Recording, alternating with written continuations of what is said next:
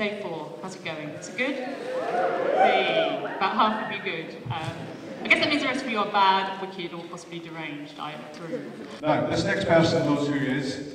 Taking your shoes and socks off during the film is not acceptable. So no shoes and socks, but what about pants?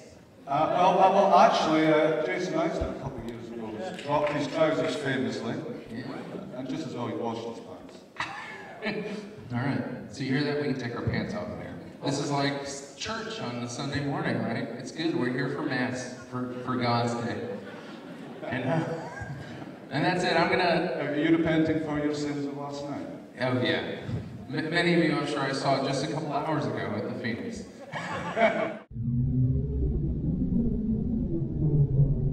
Every year I stand on this stage and tell you that I have an absolute favourite movie. This year I, I just love Dark Tourist. I'm delighted to have the director, Suri Krishnamma, here, and my absolute favourite TV star, Officer John Cooper from Southland. Hear me? Yes. You first? I can hear you. Me first? You first. I want to say a huge thank you to Mike for coming over from Los Angeles. He literally arrived here uh, this morning. I was sent the script in the sort of traditional way through. I mean, it landed on my inbox. I fell in love with it immediately, but it wasn't really that that pulled me in. What it was was the conversation that followed the following morning with Frank John Hughes, the writer, Mm. and I realised quickly, so quickly, the conversation was three hours long. Anyway. But I realised Most quickly. conversations with Frank are three hours long. they do tend to be if you know Frank, yeah. But I was in London, he was in LA. Actually, I paid for the call. Did you? You should have Skyped. So, yeah, I yeah. I mean, grief tourism is a very weird sort of. It is, and it and it, it takes on its many different levels. We were all grief tourists to some degree. The Tower of London. Yay!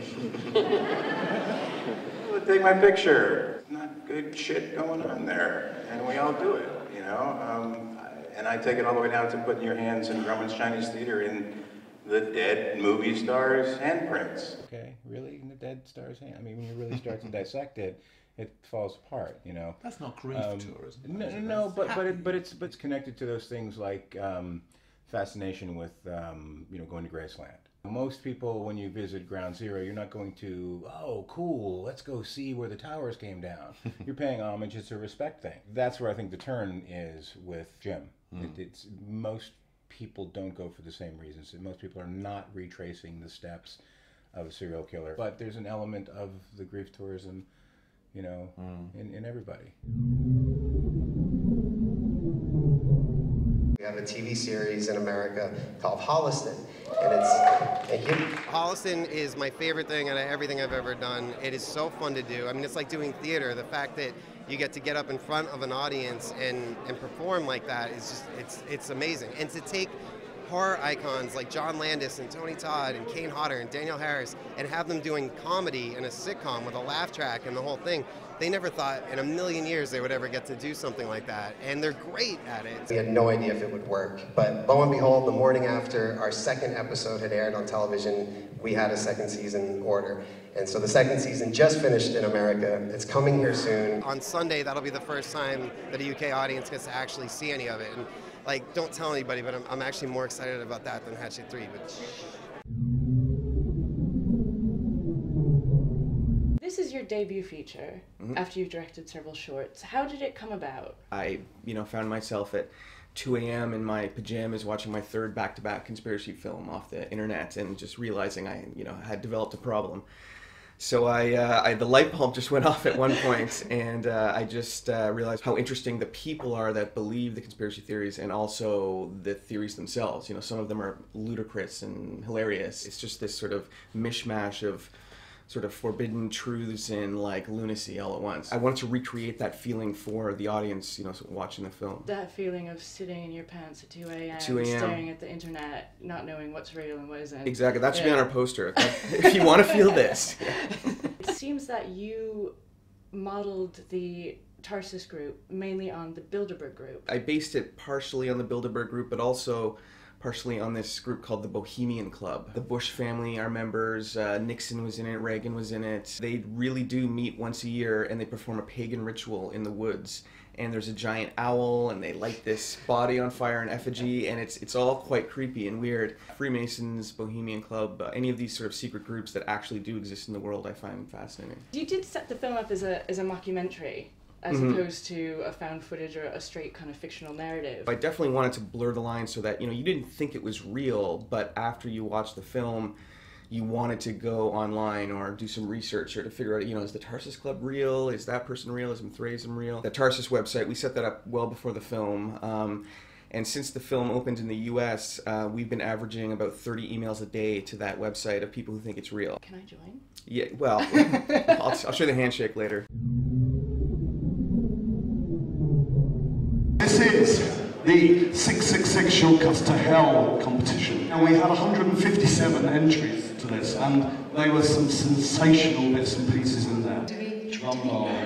Okay, We need a now, drum roll. The winner is, and Emily's just found out one minute ago. And the winner of the uh, 666 Shortcuts to Hell competition is the six feet under the necrophilia It's about a girl that falls in love with a dead body. That's that's that's it. That's it. And this is the real chair, because that's pretend. It just feels feels great. It's an amazing cinema. Uh, it sounded really good. It looked quite good.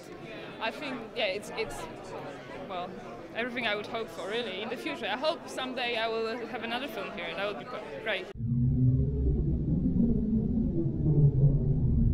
Join me now in welcoming director Jeremy Lovering to the stage to introduce In Fear. It's about two people who don't know each other longer than two weeks. They go away together, and it's about whether the trust can be built or whether it's eroded. The movie's about three people who get very lost and very frightened uh, in Ireland, and uh, I don't think, no, that's the most terrifying thing. Allen, how did you feel to play a diabolical representation? Uh, really nice. Um, Thematically, it's about fear as a state of being and how that leads possibly inevitably to violence. Allen actually, his job during rehearsal was to sit at cafes across the street and watch us. That was your job. yeah. Yeah. I still do it sometimes. Yeah. The way we filmed it was I didn't give the actors a script um, and I didn't tell them the story, so much of it is about them not knowing what's coming next. We wanted to make something that was did find these horror beats, but came from a very um, a place that was very human. I have an insight which I'm aiming for, but the, how the actors get there, I have to let them find their own way. As a kid, I used to find comfort in going in, you know, I'd walk into a forest and sleep through the night. Um, so, harder. Yeah, deliverance. Yeah, yeah, great, great, great. You guys didn't know that when you signed up to work with him, did you? No. We genuinely love him so much. Um, he was really kind as well, you know, um, which maybe is a bit creepy, like that he managed to be so. He's pretty sadistic, let's be honest. He took, he terrified three time. people. Big thank you to Fright Fest. It's incredibly exciting to be here. It's a chance to see the film myself on this big and iconic and sadly soon to be dismantled screen. You can play on TV. Yes, you can get a similar experience watching it on your own in your house. But I think for me, I wanted to do something which primarily works in the cinema. I'd love to take a, a pass. I hear you can do a weekend pass and just have the bejesus scared out of me every day. We've had the misfortune of not being able to see anything but our own film. Like, I'm just working a lot at the moment. Maybe we could nip out and go into something else. Yeah. I think Jeremy would um, hate us. Our learned colleague behind the camera would like to know if you can tell us anything about Sherlock. Uh, yeah, he's, he's actually being played by a woman. So there we go. It's all changed. Director of I Spit on Your Grave 2, Steven R. Monroe, and the star of the film, Jemma Dallander. Hi. What can audiences expect from the film? They can expect to be disturbed, that's for sure. Mm. It is more intense than the remake, so they have that to look forward to if that's what they're going to be looking forward to. How did you kind of try and differentiate this from the Well, you know, n- not much. Visually, I kept it very similar. Story wise, we kept it similar because it is technically it's only part two. I feel that franchises should should have a similar visual style to it Mhm. throughout. It would be like, you know, watching the Bourne movies and then all of a sudden everything's done on static camera. you know.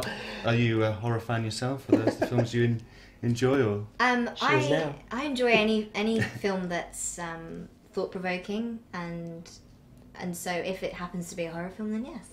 And how was it working with Steven? That that sucked. no, it didn't. Don't be silly. What was it that drew you to this film in particular? Well, working with Steven, first of all, I, I knew him before we met, and I met him. I read the script. I read the script. It's, you said 20. I was only 10. All right. Um, Enjoyed working with you, Steven. And I'll probably get in trouble for laughing because then people will go, "Oh, he thinks it's funny." But when when you're so close to it, like we were, and you go through it, Yeah. Jemma could probably go, "Oh," and after that one rape scene, and we can remember something and smile, and then everyone takes it as the, the wrong way. I've gotten in trouble before.